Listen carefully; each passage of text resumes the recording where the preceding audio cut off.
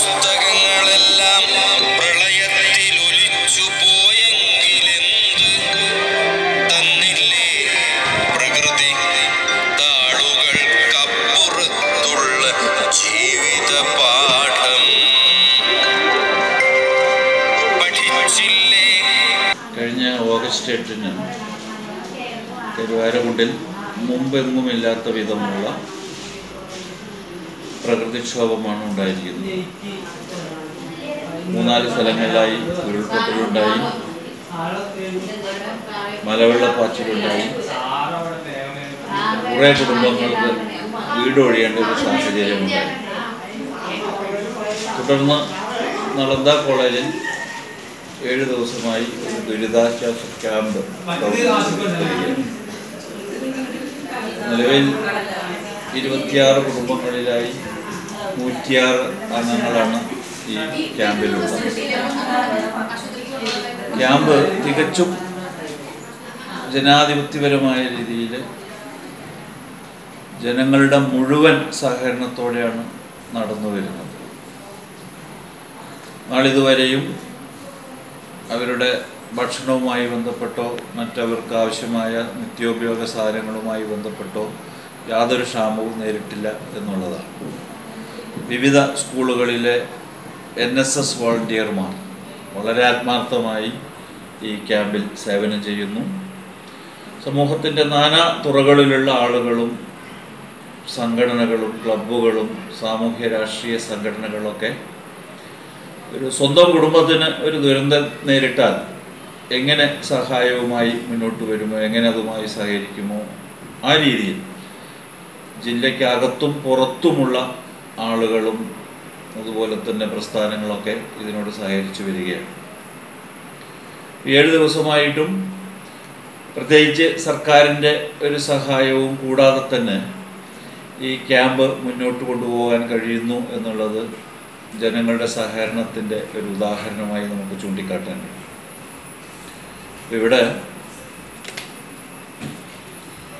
വിദ്യാർത്ഥികൾ യുവജനങ്ങൾ എല്ലാവരും വിവിധ സംഘടനകളിൽപ്പെട്ട ഉന്നതരായ നേതാക്കളൊക്കെ ഈ ക്യാമ്പസിൽ പാഠപുസ്തകങ്ങളെല്ലാം പ്രളയത്തിൽ ഒലിച്ചു പോയെങ്കിലെന്ത്? തന്നില്ലേ പ്രകൃതി താളുകൾക്കപ്പുറത്തുള്ള ഇവിടെ വന്നതാണ്. ഇവിടെ ഒരുപാട് കുടുംബങ്ങൾ വേറെ ഉണ്ട് ഇവിടെ ഒരുപാട് സൗകര്യങ്ങളൊക്കെ സാറും ബാക്കിയുള്ളവരൊക്കെ ഒരുക്കി തന്നിട്ടുണ്ട്.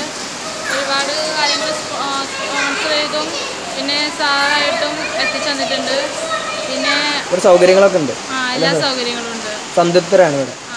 ഗവൺമെന്റ് ഹയർ സെക്കൻഡറി സ്കൂളിലെ എൻ എസ് എസ് വോളണ്ടിയേഴ്സും പിന്നെ ഈ കരുവാരകുണ്ടിലെ കുറച്ച് യുവാക്കളും അങ്ങനെ ഞങ്ങൾ എല്ലാവരും പാടെ ചേർന്ന് കണ്ടാണ് ഇങ്ങനെ ഒരു ഓൺലൈൻ സർവേ എന്നുള്ള സംവിധാനം ഒരു ആശയം കൊണ്ടുവന്നത്. അതിപ്പോൾ ഞങ്ങളൊരു ആപ്പായിട്ട് ക്രിയേറ്റ് ചെയ്തു. ഇതിന്റെ ലിങ്ക് ഫേസ്ബുക്ക് ഗ്രൂപ്പ് കൂടിയും വാട്സപ്പ് ഗ്രൂപ്പ് കൂടിയും ഷെയർ ചെയ്ത് കണ്ട് അത് ക്ലിക്ക് ചെയ്ത് അവർ ഡൗൺലോഡ് ചെയ്ത് കണ്ട് ഏഹ് അതായത് പൊതുജന പങ്കാളിത്തത്തോടെ പല ഭാഗത്തു നിന്നും കണ്ട് നമ്മുടെ പ്രളയം ബാധിച്ച ഓരോ ഭാഗത്തു നിന്നും ഓരോ അപകടങ്ങളെ തീവ്രത അതുപോലെ നഷ്ടങ്ങളെ സ്വഭാവം അങ്ങനെ എല്ലാ കാര്യങ്ങളെല്ലാം ഈ ആപ്പിലൂടെ അറിയാൻ കഴിയും.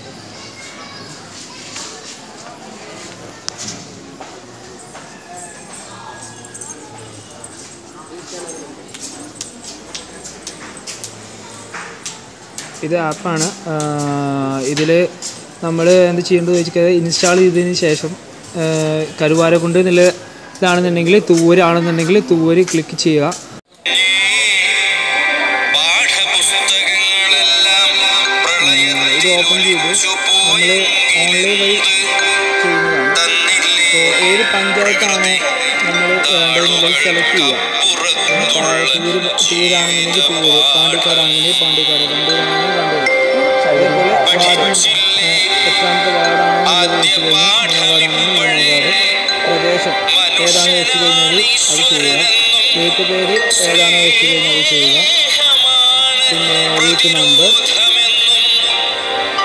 ഇതെല്ലാം ഫോൺ നമ്പർ സ്ഥലത്തെക്കുറിച്ചുള്ള ലഘൂകരണം അപ്പോൾ കുറെ നമ്മൾ ഇതിലുള്ളതിനനുസരിച്ച് ചെയ്ത് കഴിഞ്ഞാൽ നമ്മൾ എന്താണ് നഷ്ട സ്വഭാവം നഷ്ടം എന്താണെന്നുള്ളത് റോഡാണോ കൃഷിയാണോ പാലാണോ വീടാണോ അത് വീട് പൂർണമായി എത്തിപ്പോയിട്ടുണ്ടോ എന്നുള്ളത് നമ്മൾ ക്ലിക്ക് ചെയ്യുക. ആഴത്തിലറിയണം ക്ലിക്ക് കാണിക്കും ഉഴുതൻ ലാസ്റ്റ് ഏറ്റവും ലാസ്റ്റ് സബ്മിറ്റ് കോളം വരും സബ്മിറ്റ് കൊടുക്കുക.